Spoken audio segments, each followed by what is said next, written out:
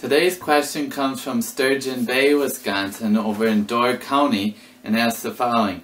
Do I have any rights to question a will that's in the trust process? The woman I cared for made it clear she left me her estate. I have nothing in writing. I was the only person in her life for many years and guided her through the last years of her life. The trust people have nothing stated.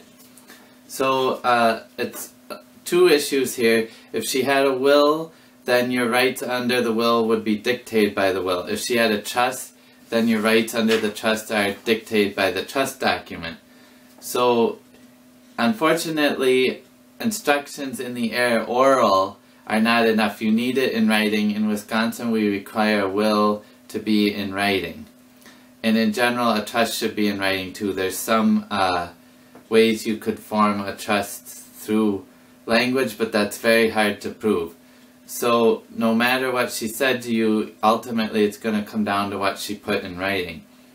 Uh, if you're if there's a will, you should ask the personal representative, sometimes called the executor. We call it personal representative in Wisconsin. If you're a named beneficiary, if you are, you should be able to see a copy of it. Even if you aren't, if it's filed at the courthouse, you should be able to look at it. If it's a trust, then you should ask the trustee to see if you're named in it. A trust is a private document, so they wouldn't have to show it to you, but generally if you're a beneficiary, they would give you a copy to review.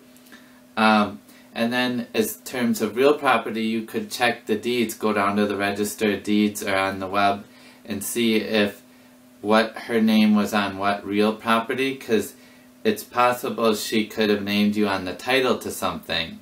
Now again, she would have had to do that while you're alive.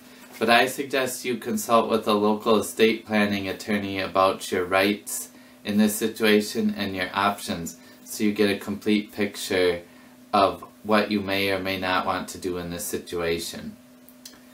Uh, great question and thank you for asking.